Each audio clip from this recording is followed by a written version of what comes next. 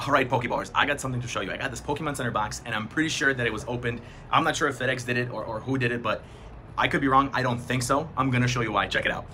So this is how the box came. As you can see, it was definitely retaped. This is coming apart. The Pokeball is not even. So somebody did a clean cut through this entire box. I don't know if they were looking for the potential Charizard promo, but they obviously retaped it, okay? As you can tell, here is just a one piece of tape. This is supposed to hold the Pokemon box together, right? So they cut through it and then put a bunch of tape on it. Let's see if my stuff is even in here or if I got, I don't know, if somebody took my stuff. Let's check it out. All right, guys, let's check it out. So I'm just gonna rip open through this like this. I'm probably gonna send this to Pokemon Center as well, just because, I don't know. But let's see if my package is in here. I've never had this happen to me before. So it looks like it's still in here. If the promo was in here, they probably would have taken it.